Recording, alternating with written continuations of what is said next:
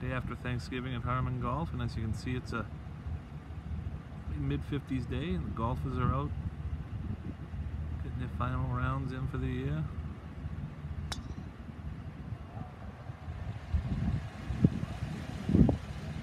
A lot of members practicing, playing. Again, just like to reiterate on behalf of all the staff at Harmon Golf, I'd like to wish everyone a happy and healthy Thanksgiving weekend. Don't forget to come down, work on your golf game, come down and visit us. Golf 365 at Harmon Golf.